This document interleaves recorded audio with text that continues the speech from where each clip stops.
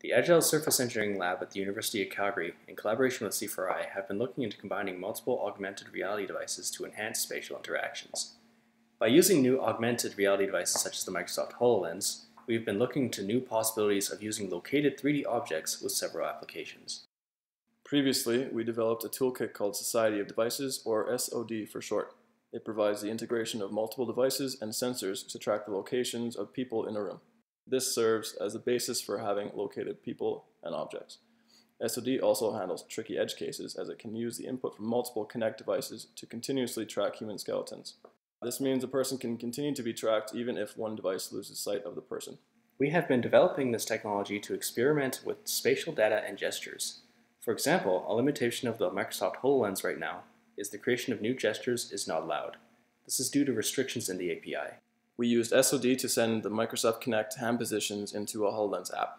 By using our toolkit, we have been able to experiment with unique new gestures as well as the management of virtual objects on the HoloLens. One application of these interactions is an emergency response. For example, in a future emergency operations center, a planner would be able to put on a HoloLens and start reacting on how to respond to an emergency using a full 3D map of Calgary. The planner would then be able to use fluid gestures made possible by the Kinect to manipulate the object's position and rotation.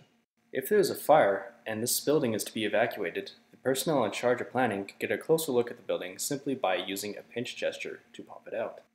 Responders could then identify good points to enter the building simply by walking around the located 3D model in space. They could even observe floor plans and inform personnel out in the field about what direction to go. While it's still in early stages, through the usage of other HoloLens devices, the goal is for people to look at the same 3D objects in the room for collaboration applications. SOD will handle the complex process between syncing what the devices see and where to position the 3D objects. The goal is to allow even non-HoloLens devices, such as the Project Tango tablet, to view the same objects. Our results on syncing have been promising so far, but this is still a work in progress. In addition to this, the lab is experimenting with how to display analytics and data such that it would be most useful in AR. For example, in this topological map of Alberta, we can simulate what areas would be affected in the event of a flood created by heavy rainfall by using a raise gesture. We're continuing to experiment with the possibilities this combination of technology opens up. Included with this, we're focusing on how it can be more useful to emergency responders, and we're excited to continue our work in this field.